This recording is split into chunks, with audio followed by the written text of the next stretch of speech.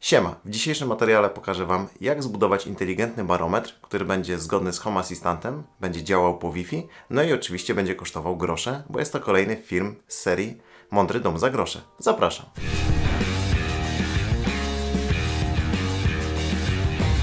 No to klasycznie zaczniemy od listy elementów. No pierwszy oczywiście najważniejszy, czyli nasz barometr, czujnik BMP 280 który podłączymy do ESP8266. Jakiego? Nie ma to większego znaczenia. Ja mam tutaj na przykład Vemos D1 i popularne Node MCU, które wykorzystam. Nie wiem, chyba Node MCU, bo ma piny do Vemosa, musiałbym je przylutować, a po prostu mi się teraz nie chce.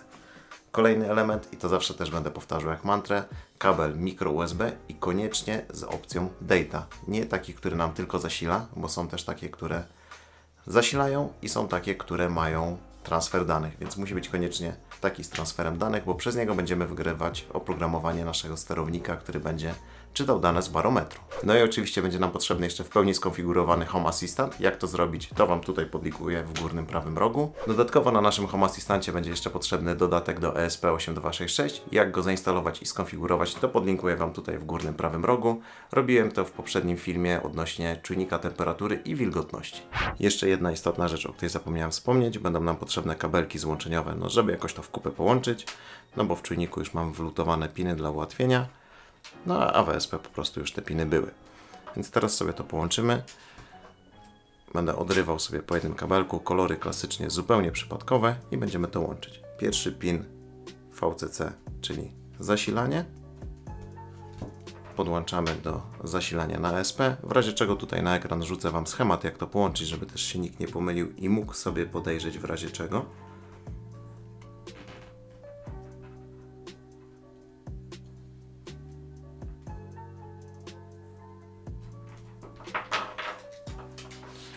Drugi kabelek weźmy niebieski. I to będzie ground, czyli pin GND na naszym czujniku i pin oznaczony jako GND na ESP. No i teraz przechodzimy do kabli sygnałowych. To będzie nasz fioletowy i szary. Zaczniemy od fioletowego. Podłączymy go do pinu SCL, który, co istotne, to jest bardzo ważne, musi zostać podłączony do pinu sygnałowego D1 na ESP. To jest istotne z tego względu, że potem będziemy musieli to ustawić w konfiguracji, w której jest jeden śmieszny trik, więc jak pomylicie numerki, no to może być problem. No i ostatni pin szary, który podłączymy sobie do SDA.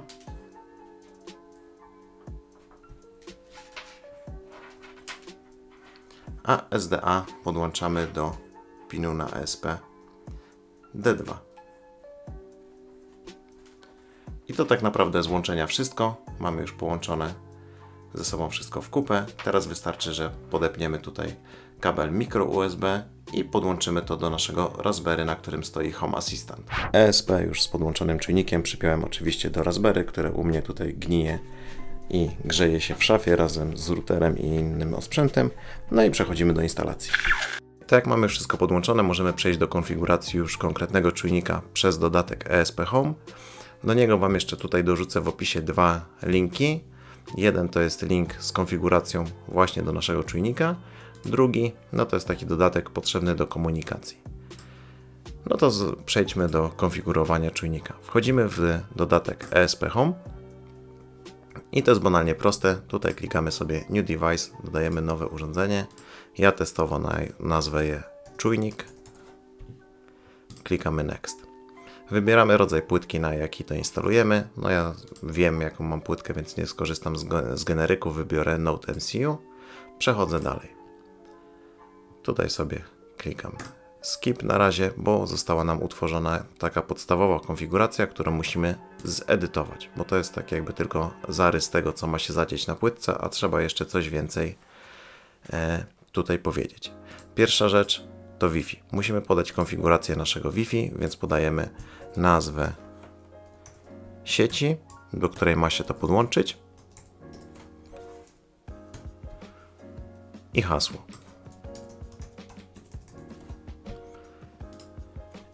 I teraz nasza płytka jest w stanie połączyć się do naszej sieci Wi-Fi i też ma jeszcze Wi-Fi, do którego możemy się podłączyć, żeby coś tam sobie pokonfigurować w razie jakby coś przestało działać.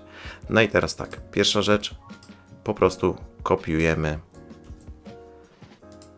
to i wrzucamy do naszej konfiguracji. Zacznie świecić się na czerwono, dlatego że e, nie mamy takich numerów pinów na płytce ESP8266, bo to jest e, pod ESP32, więc zamieniamy to po prostu na 4 i 5. Usuwamy identyfikator, no bo nie jest on nam do niczego potrzebny. No i dodajemy sobie już nasz czujnik. Jeszcze muszą się wcięcia zgadzać. Ok, wygląda, że wszystko jest spoko. Pozmieniam sobie jeszcze tylko nazwy. Temperatura.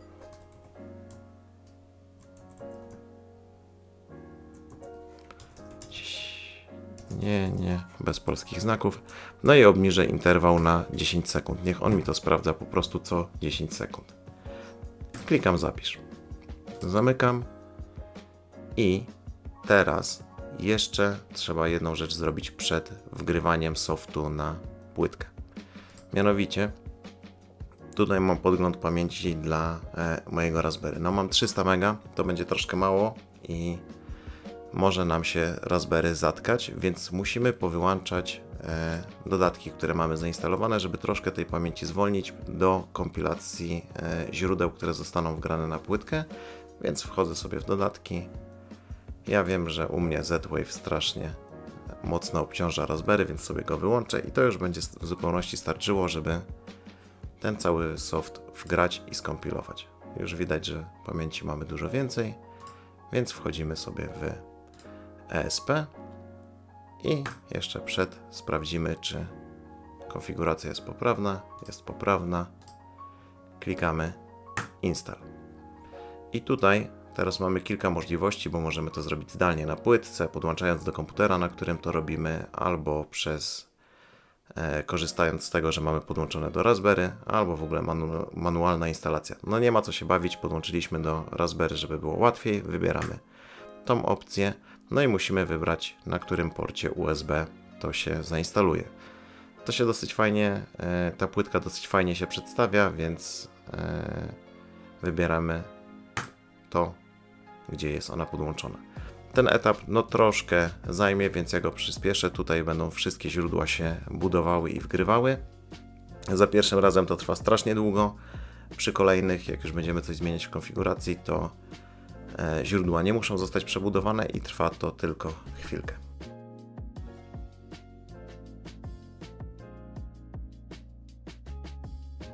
Soft nam się wgrał, ale widzę, że nie może podłączyć się do Wi-Fi. Prawdopodobnie gdzieś popełniłem błąd w sieci Wi-Fi, bo widzę, że jest ta, którą bym chciał, ale pewnie w konfiguracji popełniłem jakiś błąd, ale to nie jest problem. Klikamy sobie stop, wchodzimy znowu w edit tak. I napisałem Nicek, a sieć się nazywa Nicki. Klikamy zapisz, zamykamy, instalujemy, wybieramy płytkę. No teraz już źródła nie będą musiały się kompilować, więc poleci to dużo szybciej. Ok, teraz mamy, połączył się dobrze do Wi-Fi, jakby nie ma problemu, ale wyrzucił nam błąd i o to też chodziło. Problem z komunikacją, nie udało mu się połączyć z czujnikiem. Problem jest znany, jakby nie jest to nic nadzwyczajnego. Znowu klikam stop, wchodzę w edit i może się zdarzyć tak, że ten domyślny adres e, no nie jest taki, jaki chcielibyśmy. Zmieniamy na szóstkę. Klikamy zapisz i instaluj. Jak mamy działający czujnik, trzeba zrobić jeszcze jedną rzecz. Musimy wejść w konfigurację, integrację. Tutaj pojawi nam się nowa integracja. Czujnik, tak jak go nazwaliśmy. Klikamy konfiguruj. Zatwierdzamy sobie węzeł. określamy gdzie on tam ma być. No ja tutaj mam jakby instancję testową, więc wrzucę sobie po prostu w biuro i ok, jesteśmy w stanie z niego korzystać, więc przechodzimy w nasz główny panel. Jestem już w trybie edycji, więc z niego wyjdę i pokażę Wam jak to wrzucić na panel. W górnym, w górnym prawym rogu klikamy trzy kropeczki, edytuj dashboard i teraz w dolnym prawym rogu dodaj kartę. Wybieramy sobie wzór karty, jaki chcemy, żeby nam przedstawiał te dane. Ja wezmę ten, on jest taki w sumie najsensowniejszy do tego. No i tutaj wyszukujemy encji, które nas interesują, żeby tutaj dodać. One powinny się przedstawiać po nazwie albo i nie, więc trzeba je wybrać z listy. O, one przedstawiają się po nazwie, którą wcześniej w pliku konfiguracyjnym dla tego sensora podaliśmy, czyli ciśnienie, a druga była tem temperatura. Klikamy zapisz. Wyjdę jeszcze sobie z trybu edycji. No i mamy na dashboardzie aktualne ciśnienie i aktualną temperaturę. I to by było tak naprawdę na tyle. Jeżeli materiał Wam się podobał, no to zostawcie kciuka w górę. Jeżeli macie jakieś pytania, no to walcie śmiało w sekcji komentarzy, bardzo chętnie odpowiem. Dzięki, do zobaczenia, cześć.